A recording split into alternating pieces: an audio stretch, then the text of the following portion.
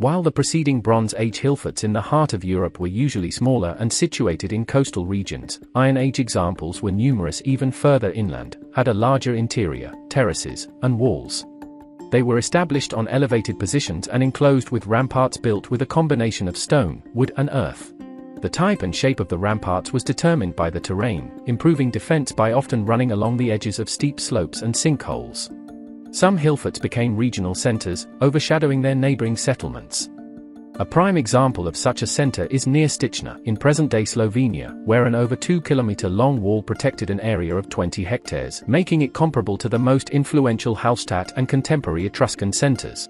It was a structured area with different districts and rich tumuli barrows, yielding many artifacts and battle equipment. The legend of its might was passed on through oral tradition even into the modern age, capturing imaginations of many.